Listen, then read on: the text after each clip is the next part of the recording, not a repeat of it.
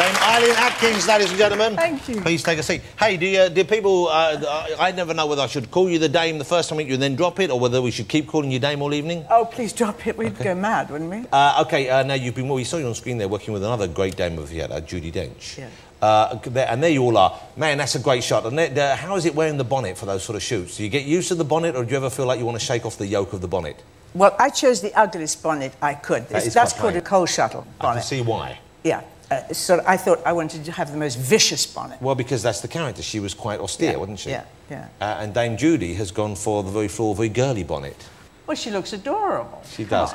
I, I often think Dame Judi, I've never seen her naked, but I imagine Oddly enough, neither have I. it's worth fishing there. I Yeah. imagine I imagine she'd look like a particularly delectable pink walnut whip. I think she'd love that description. Mm, And maybe she sometimes puts a bit of whip on. I- I don't I know. don't know. I don't know. Let- don't let's go into Uh, it. you- Because old people talking about sex is really horrible. Well, well we're gonna, I'm going to ask you about sex Oh, later God. on. Um, because there's a specific up. thing I want to know. But here's the thing. Is there a kind of pecking order in terms of how the film scripts get offered around? Because there's you, there's Judi, there's Maggie Smith. You're the kind of Oh, three I great... think you're well ahead of me. The dames, yeah. Uh, In fact, I carefully chose an agent who looked after Maggie Smith so that I could get her leavings. And Dame Maggie, of course, you work with in uh, Gosford Park. Yep, and on stage as well. Uh, Yeah, and, and what do you do? You like doing stage work more than films, or films? I mean, I guess it's a different experience. But I really do like doing stage work more. uh, and uh, working in the West End Essex, I know you've just finished in one, and you're about to go into another. You're finishing the Sea. Yeah. What's the new uh, play you're starting? The new play is called The Female of the Species, and at last I'm in a comedy. I mean, the last one, it said a comedy, but it wasn't really a comedy. This one really is a comedy. Right. Yeah. Yeah. And this is what's this about? The play. It's, it's in, been inspired by, um, it's written by an Australian. She was inspired by the fact that Germaine Greer was held hostage for about 24 hours by somebody who t- turned out to be, have mental problems. But um, she's made it well, very I can different. see that would make for a great comedy there. That's uh, a nut job holds someone hostage for two months. Well, Uh, but, this- uh, but do you play Germaine Greer in the in the? Well, I, no, it, it isn't. I'm not playing Germaine Greer. I want to make that very clear. Um, I'm, I, but I am a well-known feminist who's written lots of books and changed people's lives. And it's really the comedy is about what feminism has done to everybody because people are very muddled about it now. I mean, um, you know, I, I think it was very necessary, myself personally, and I think we needed to become more, much more equal with the men. But then you get equal with men, and then suddenly a lot of women then really actually would like to be thrown across the room a couple of times or dragged along the floor. Do you know what I mean? There's, there's a sort of feeling about them too that they also want, they want to be equal, but they also want the men to top them. And it, she's written a very funny. Everybody has their say in it. The men have their say in it as well. Everybody has a go at everybody, and it's very funny. How did you get into it? How did you start acting? Uh, were you a showbiz family, or was it something Oh, you God, just you wanted to do independently? No, no, no, no, no, no, no. My father had been in service, which is where upstairs downstairs comes from, and So he was uh, an actual a butler or something in a in a. he sort of- was an under chauffeur, and he wasn't even allowed to drive the car. So he that- was just there to clean it and keep the chauffeur awake. To the Portuguese ambassador, the Marquis de Soveral. So that was the actual job to clean the car and make sure the chauffeur didn't doze off. That's right. Well, Or he we was went awake to when parties needed. with George V. I mean, it was all posh Yeah, stuff. that's a, a totally different world. Yeah, but my mother wouldn't marry him if, if he stayed in service. I mean, so he became a gas meter reader um, in Hackney. And was that a step down for him to do that? Was that to, Yes, to leave he a big loved house? being in service. He absolutely loved it. But he, he didn't really mind what he did as long as he wore a uniform. But you, know, you do know, unfortunately, he looked like Adolf Hitler. I right? didn't know he looked like Adolf Hitler. I don't think uh, in the 30s or 40s I'd want a gas man coming around reading my meter who looked like Adolf Hitler. people, Well, did he get a lot of refusals at the door? He got something much worse. A very large woman, he was reading the meter, pushed him in, locked the door, and called the police and said she had Adolf dressed up as a gas man. Why did you think Adolf Hitler, who at the time had Germany under his thumb, would, would start the attack here posing as a gas meter reader? I don't know. We were all very worried in those I days. Come on. a scary. He's still not a nice looking bloke, is he? no, no. Um, okay, well, and so uh, So, so I, I, I, no, and they, I was, they, some gypsy came to the door and told my mother that I was going to be a great dancer, and so I was pushed to dance in school. I hated it, at three, and I screamed, and then at four. Finally, at five, I gave in. I told lots of lies. I said a girl had stuck my head down the lavatory, but they still made me go dancing. And um, and I, I was baby Eileen, and I used to do uh, working men's clubs and all that. So you used to. I was on the stage door canteen when I was seven during so the you were performing as a seven-year-old, but you didn't really want to be doing this. this no, I hated it. So how long have you been acting for? How would you, as a professional actor, how long? How long has your career spanned?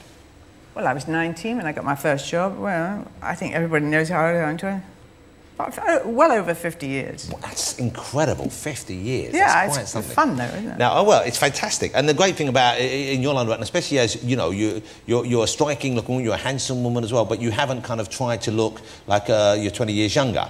Which are, which, No point. Yeah, uh, but that's great because you get parts, proper parts. Someone, I mean, I wonder where kind of where they're going to find old actresses later on in life. If they want someone who's going to play anyone above 50, because everyone's face is so tight now, and their lips, are, you know, they they don't look like they never age. No, well, I, in- in America, I go around and I say to anybody who might be interested, like if you do the casting thing, I say, um, now listen, look, look, look, look at this face. I'm not going to have anything done, and in your country, there's not going to be anybody available to play, certainly period grandmothers. I mean, in a period show.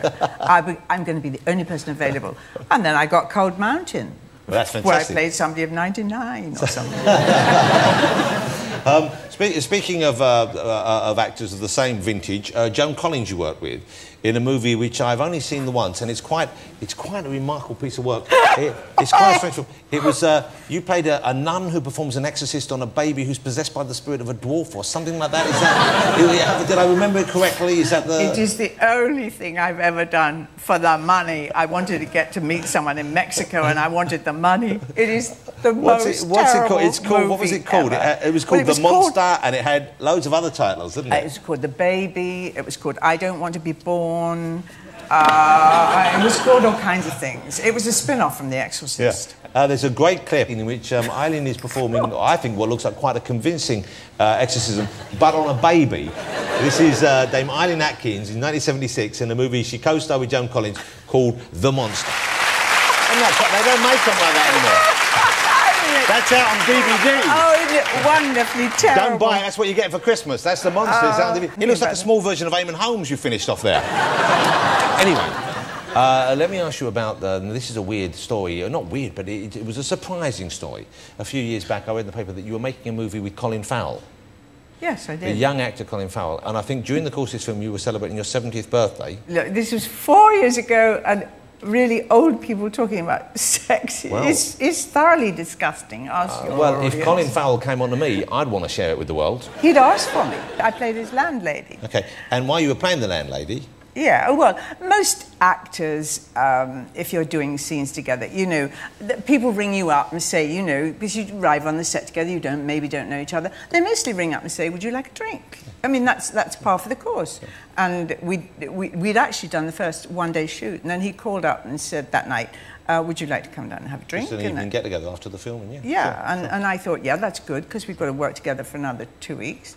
So I went down and had a drink, and that was fine. And then I said, um, I was going up to Ron, and he said, he, he, he said, I've got the number, I'll see you in 10 minutes. And I said, oh, yeah, yeah, yeah. So now, hold on. This is a great thing, though. So you're 69, Yeah, and he's what, 28 or something like that? yeah. And he was saying, 28 at the end of the week. I'm coming up. yeah, 10 minutes. yeah, So he thought, give her a couple of drinks, get her primed, bing, bang on the door. yeah. So, And and I, did ju- he I come just up? thought, it was a joke, joke. And he came up and knocked on the door? Yeah, and I was in a really awful old night dress with a hole in it. Well, you weren't expecting a gentleman caller. I'd spent every speck of makeup off. And I, all I could think of was, oh, those bloody maids, I suppose they think they've forgotten to put the chocolate on the pillow. And, and I opened the door, and there he was. Pushed you in the. Yeah. Was he a bit swaggy? I bet he was. I bet yeah, he was but. I- oh, like cheers, I'm saying, women are Came for like loving. Did he say anything like that? No, come the leprechaun. What did he say when he came that. He's just full of blarney. And he's, he's He's just, a- in- he's enchanting. And so, and then so, but so I just kept saying no for long enough to keep But hold him in the wrong. I'm sorry to dwell on this, but this is remarkable technique the man has it. So, what, he came in, you got your nightie on, he knows you're not up for action, you got your Yeah, makeup off, you ready to yeah. but he persisted. Oh yeah, yeah, What did he yeah. say? yeah I What was, was he- reading a book. He said to me, I said, "Look, I want to read my book," and he said, "I'll read it to you." Right, he knows what he's doing. He really does. I'll read a bit, then maybe a neck massage. Yeah, Yeah, we yeah, all yeah, know what he's thinking. and then you said, what did you say to that? And I said, oh, oh okay then. If you, will you go after you've read? If you, yeah, I, I'll go after. Yeah, and then. But you know he was thinking he had a foot in the door there. Yeah, he was. And then he'd get up and talk, and then he'd suddenly talk about Oliver Stone. He was terribly interesting. He's a terribly interesting But guy. he's a very talented man, he's a very He's so man. talented. You see, when we were chatting, chatting, chatting, and then he'd then he'd lift up the. He lifts up. They lift up the cover and try and get in bed. I He tried to get into yeah, your I, bed? I said, I said, Colin, this is Hold really. on. So you're just awful." reading and he's going, oh, just settle down now. He's climbing into the bed. What a cheeky scam. he's he's just. Did he, he, but did, he, did he have all his clothes on when he tried to get in the bed? Look, I don't know how I held that up, but I did. I bet he whipped his shoes and socks off. I can't remember. That's that. what, but that's marvellous action. And presumably, how long, how long did it take you to get him out of the room?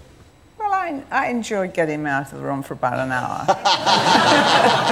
That's so lovely. So you enjoyed the uh, the company yeah, I enjoyed the whole thing. He came to see me on Broadway in a play I was in. He really is a smashing chap. can I just ask you? And please, if this is uh, out of line, this question, you just tell me. But if he'd have given you a bit more preparation time, if you'd have maybe had a slightly saucier nighty with you, No. would you have allowed him to slip into? No, I honestly think I'm like the general public. It really does make them. I mean, I got awful things said about me in the papers. I, I never meant it Why? to come out. I didn't think they could find out who I was talking about. Before I got home, there were newspaper people outside my, you know. I bet, and- I bet, and I bet, I bet Colin Farrell went home and there were a lot of seventy-year-olds waiting outside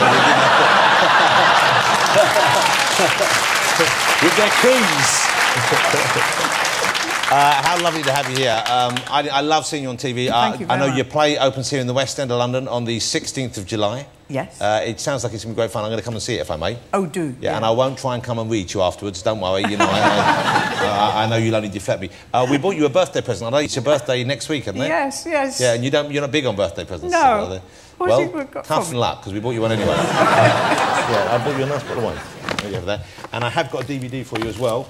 Uh, it's not as good as fun, but it's Colin Farrell in SWAT, and it's also got Samuel L. Jackson. We've lost the DVD, but I'm going to give you that, and when I find it in the office, I'm going to send it over to you. Oh, thank you. Okay. Thank you. Ladies and gentlemen, Dame Eileen Atkins. Thank you very much. I'll find it for you. That's apparently very nice song, so hopefully you'll enjoy it. Oh, I love that.